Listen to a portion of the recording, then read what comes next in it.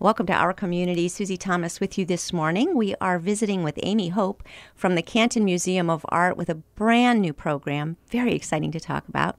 Good morning, Amy. Good morning. Nice to be here. Well, it's great having you. And first of all, tell us a little bit about you before we get into art for health and healing. Yeah, I uh, I grew up in Stark County, and then I went to Ursuline College for my undergrad in, in studio art, and then I stayed at Ursuline and finished my graduate work um, in counseling and art therapy. What was your dream? What did you kind of want to do with that one day? Um, I always have been inspired by art, and I love how it can be connecting to other people, and I love working with kids too. So that was my my dream. So, what did you do then out of college? Um, I went on to work at the Christian Children's Home in the residential facility, and I was there for about three years. And then I went to Child and Adolescent here in Stark County, mm-hmm. and I've worked there for about two years. At the Christian Children's Home, now they've been here before as well. Did you use art with some of the children there? I did, yes. Tell us a little bit about why that's important. How did children respond to being creative in that way? Well, with children, a lot of times they don't have that vocabulary um, with their emotional language. So, art can really be beneficial with expression and connecting with one another um, and being able to tell their stories. Mm-hmm. Have you gotten to hear some pretty cool stories and seen it make a difference in a child's life? I have. It's fun to see when they have that aha moment, um, when they're able to connect and see what maybe they're still working on and feelings. Um, so it's it's a great way to open up themselves. Have you actually gotten to see a child's artwork go from dark to happier? Um, and throughout treatment, I would say so. Yes, yes. from like a time span. Yes. In what way? Um, well, a lot of times when they come in first for treatment, um, they have so much on their plate. Um, and so sometimes the artwork can feel dark and, and they feel very chaotic.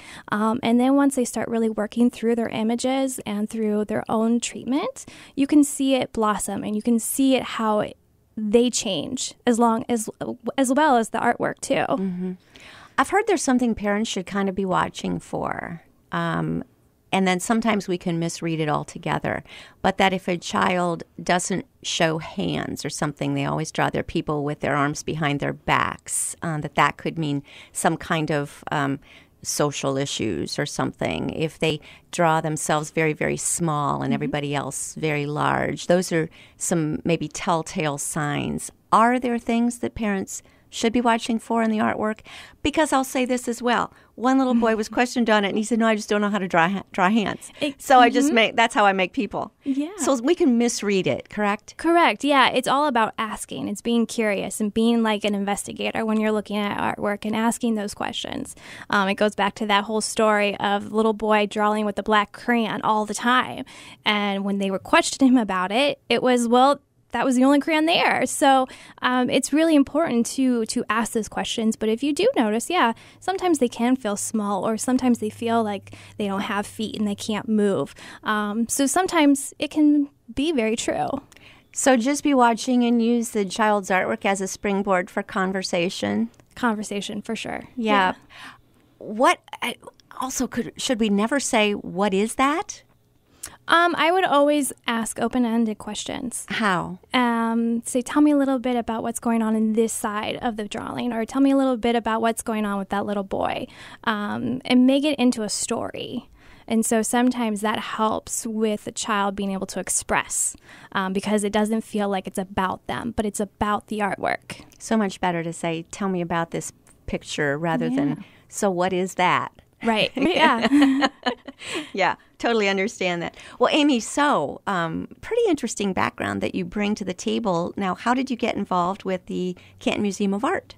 Um, well, right now we are starting a brand new program, Art for Health and Healing, and connecting the community with the museum. It's a fantastic way to bring people in, show them the current exhibits and the permanent collection, and then have them do a, an art experience themselves.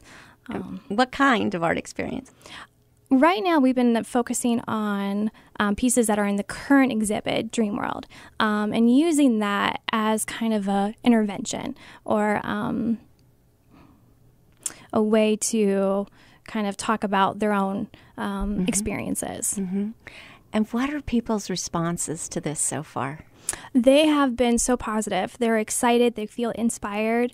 Um, it gives them a different way of communicating, uh, telling their stories. Are these at certain times, or can this be anytime someone decides to go to the art museum? Because I think sometimes when you're going to the art museum, you don't think you're going to be creating art. You're just there to look. Yeah, these are set uh, program times with the agencies in the local area.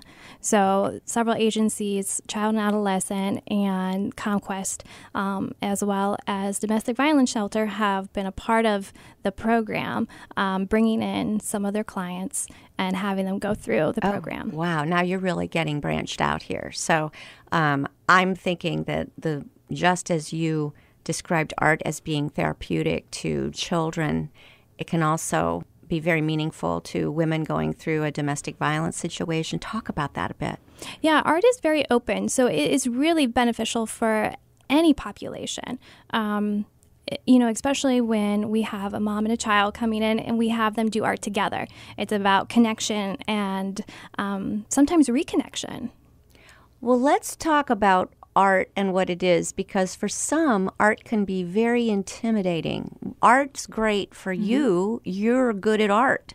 But, uh, you know, somebody that's already having a rough time in life and now someone hands them a blank piece of paper and says, make art. What's art? I think that's that's very true with a lot of people. Um, they can, especially after going through the exhibits, uh, they they feel intimidating. Um, but I also, I always remind them it's about the process. This is about having fun and not really thinking about what you're doing and just l- creating um, to see what happens. That it doesn't have to be perfect, and so it's not going to be. You're with CommQuest, domestic violence, and and one other. Child said? and adolescent. Child and adolescent. Whoa, what kinds of different things, or are they different? Different approaches do you take which each of those populations? Um, yeah. So with each population, I look at technique. Um, they're with children trying to make sure it's fun and it collaborative. Um, and so looking at material, that's also really important too. And then domestic violence, it's a different way. And then CommQuest, my goodness, what kinds of things do you get into with them? CommQuest, um, you know, very similar. Sometimes you take uh, a task that you creative um, created and you apply it just a little bit differently um, with each of those. And that's the one I'm really curious to know. How do they do? Um, perhaps someone new in the program, and they're trying to get away from an addiction of some sort. To when someone's ready to leave the program, the difference in the way their artwork might look. Have you been doing this long enough to see that kind of a transformation yet? Um, no, not with the mm-hmm. program yet. Um, but with CommQuest, I've heard so many great feedback about wanting to bring their family members, um, bring their kids, so they feel the connection and they want to share it with their families. Well, we want to give a huge shout out to the Mental Health Board, right? How are they oh, involved? Oh, yeah. The Mental Health Board um, has been a great uh, advocate for the program, and they've helped us with the grant um, providing this program. So tell us again how how you got was this their idea? Was this the museum's idea? How did this all get started? It's so interesting launching something brand new like this. Yeah, it was the inspiration of two of the staff members at the museum um, that felt that they wanted to get connected, um, and they did their research and they they asked the mental health board if they would like to be a part of it, um, and so that's kind of how it got its start. And then, how did they find you? um, well, I heard about what they were doing, and so I, you know, applied for the position. Um, it was a fantastic opportunity. What would be your goals, Amy? Uh, what would you like to see happening with this program five, ten years down the road? Oh, wow. Um, well, I hope that it continues growing, um, that we connect even more so with the, the community um, and do a lot of community projects for the museum and for the community. Oh, I, neat. Yeah. We're speaking with Amy Hope. She is, are you director? Of uh, Art for Health and Healing, or what's your title? Uh, program coordinator. Program coordinator for Art for Health and Healing. Interesting name, Health and Healing. How did you come up with that? Well, I think it was the museum who came up with the idea of wanting to find something that was inspiring and healing for individuals, um, that there's that connection and wholeness between art and healing and the health. How does this work exactly? Um, does some are these programs that like drawing class, and you say, "Oh, I'd like to sign up for health and healing," or how exactly does a person get involved with these classes? Right now, we are just going through the agencies. So we're setting up little groups um, through the providers. Um, the providers are, you know, have these set groups already, so a lot of them are bringing them already to come to the museum as an outing. Um, especially with like CommQuest, they have those set groups, um, and sometimes it's a nice break too. I've heard clients say that they like having something different. Mm-hmm. It's like a field trip for them. Yeah, almost. It probably feels like yeah. Mm-hmm.